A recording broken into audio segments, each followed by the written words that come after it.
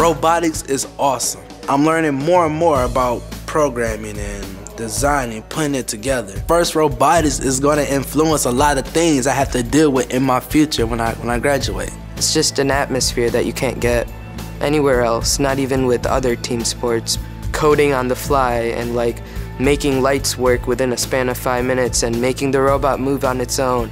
You have to have good problem solving skills and working with people in a very stressful environment. Again, immersive experience you can't get from any other club. I didn't know what was going on. I didn't know what they were talking about, but I knew at the end of the day that I really wanted to build robots. This year I am the student lead marketing, so I oversee all of the business sides of things, the um, logistics for how we're going to run parts of our event. I look over web and uh, fundraisers. I started gearing towards the marketing side. I realized that my forte is business and marketing and finances and that's kind of where I want to be. I want to get a job at Whirlpool. There's teams like the football team. They meet for one season, but robotics goes on year round. We do outreach events. We work with other teams like around our area. Like we specifically work with the Robotarians a bunch.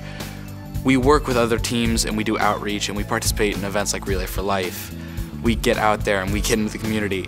It doesn't matter what you do, you're gonna have fun at a robotics competition. You have students naturally from different schools coming together and interacting, working together, working through problems that develops into friendships and, and collaboration. It's, it's really fun to watch. The engineers from Whirlpool were very valuable. They were really able to teach us a lot of new stuff. I learned how to use power tools that I had no idea how to operate before. I learned how to cut metal. I learned how to wire, which to me was a crazy thought at first. Sophomore year, I started learning about how there's all these scholarship options and how like there's all these businesses looking for people who are capable of doing the stuff that I was learning how to do. First day I came here, I learned how to use a vertical mill and machine parts from aluminum, and it just kind of took off.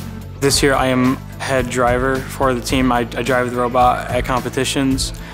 I'm a freshman, so I'm noob. and they had me on red side supervisor. So I had to coordinate a bunch of people and it was hectic and it got back to my mentors and they said, everybody said I was doing a great job and everything, so it was a great experience. If You're on that fence about supporting the program, mentoring the program, or having your kid involved in it, you should do it. It'll change their life completely, whether they're in FIRST LEGO League, FIRST Tech Challenge, or FIRST Robotics Competition like me.